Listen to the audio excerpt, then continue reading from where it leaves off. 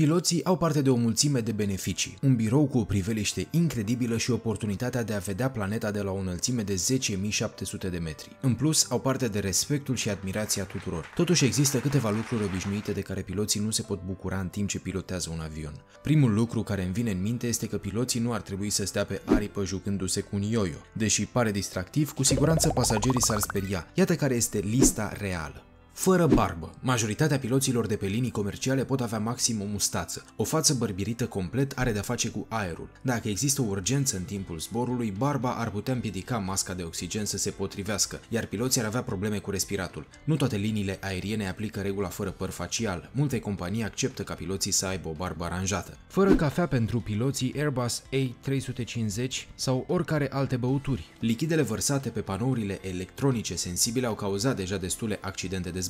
De atunci, pe acest tip de aeronavă, lichidele sunt interzise. Dacă vreun pilot vrea să bea apă, ceai, cafea sau orice altceva, trebuie să meargă altundeva. Nu mai mult de 8 ore de lucru pe noapte și 9 ziua. Piloților li se permite legal să se odihnească în timpul zborurilor lungi. Nu trebuie să te îngrijorezi, mereu există doi piloți în carlingă. Dacă unul trebuie să doarmă în timpul unui zbor, celălalt pilot poate să îl înlocuiască, fără vorbărie sub 3050 de metri. Majoritatea accidentelor aeriene au loc sub această altitudine, din acest motiv există o regulă de liniște în cabină. Aceasta le interzice piloților să facă alte activități în afara pilotării avionului până ajunge la o altitudine mai mare. Activitățile care nu sunt necesare includ dialogul cu un coleg fără muzică sau radio. În timp ce mintea este ocupată cu muzică, un pilot ar putea fi ușor distras, iar consecințele ar putea fi foarte neplăcute. Unii piloți admit că uneori se folosesc de echipamentul audio pentru a asculta muzică în zbor. Atunci când un zbor este amânat și nu există pasageri la bord, avionul trebuie să stea la sol timp de câteva ore. Piloții pot să asculte muzică în cabină fără alegeri culinare. Dacă vrei să ai parte de mâncarea ta preferată în cabină, trebuie să te grăbești să o ceri. Piloții trebuie să mănânce feluri diferite. Imaginează-ți că amândoi ar avea toxinfecție alimentară și ar fi incapabili să piloteze. Sună teribil. Din acest motiv, dacă un pilot alege carnea de pui, celălalt trebuie să aleagă peștele. Nu îți poți alege partenerul. Piloții nu prea știu cu cine vor zbura până ajung în cabină. Nu au voie să-și refuze colegul indiferent de motivele personale. Fără cărți. Din păcate, terminarea acelui roman interesant în timpul zborului nu este posibilă pentru un pilot. Cărțile sunt considerate a fi distrageri prea mari. În același timp, este în regulă să te uiți la un ziar. Acesta conține articole scurte care nu ar capta prea mult atenția piloților. Fără dispozitive în timpul zborului, vă rugăm să opriți dispozitivele electronice sau să le puneți pe mod avion. Da, majoritatea pasagerilor știu această frază pe de rost. Ceea ce probabil nu știu este că piloții respectă aceleași reguli în cabină, atât doar că pentru ei nu există opțiunea mod avion. Nimic nu trebuie să le distragă atenția în timpul zborului. Respectă regula de doi oameni. Asta înseamnă că trebuie să existe cel puțin doi oameni în cabină în orice moment. Dacă unul dintre piloți trebuie să meargă la toaletă sau să bea apă sau să-și întindă picioarele, un însoțitor de zbor trebuie să stea cu cel de-al doilea pilot.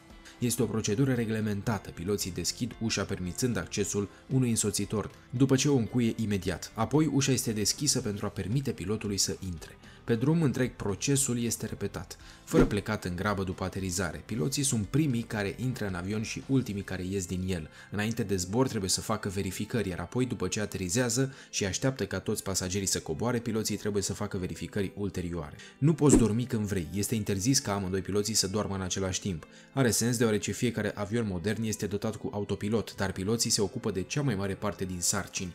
Din acest motiv, cel puțin unul dintre ei trebuie să fie treaz și să fie capabil să controleze toate etapele zborului. Apropo, dacă unul din piloți este aproape să doarmă, trebuie să se asigure că partenerul lui e treaz. Simpla privire nu este suficientă, e nevoie de o confirmare verbală fără vizite din partea pasagerilor. În trecut, pasagerii puteau vizita cabina dacă cereau permisiune. Astăzi, reglementările nu le permit piloților să aibă vizitatori care nu fac parte din echipaj. Nu doar piloții au parte de reguli stricte, și însoțitorii de zbor trebuie să respecte câteva specificații. De exemplu, membrii echipajului nu au voie să mănânce în fața pasagerilor. De fiecare dată când unul dintre însoțitori simte nevoia să ronțe ceva, trebuie să se ascundă.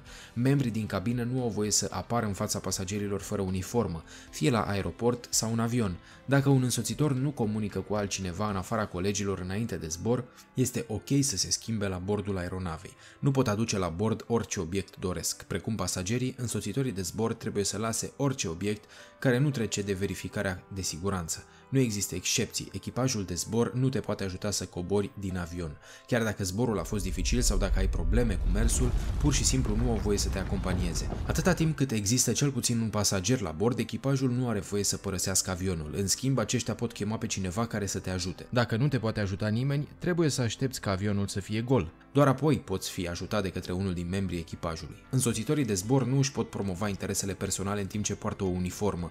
Nu îți pot cere să le dai follow pe Instagram sau să le cumperi produsele. Aceștia nu pot nici să intre și să iasă din cabină oricând doresc. Din motive de siguranță trebuie să urmeze o procedură strictă înainte de a vizita piloții. Trebuie să anunțe prin telefon, apoi să introducă un cod special. În acest timp, un alt coleg trage o perdea pentru ca nimeni altcineva să nu poată da buzna prin ușa deschisă. Însoțitorii de zbor nu pot accepta bacșiși. Trebuie să fie prietenoși deoarece aceasta este slujba lor nu pentru că așteaptă motivații externe. Unii oameni cred că dacă ai prieteni care sunt însoțitori de zbor, poți zbura oricând pe gratis. Deloc adevărat. Prietenii sau familia nu pot beneficia de astfel de avantaje. Chiar și însoțitorii înșiși pot avea dificultăți la folosirea zborurilor gratuite.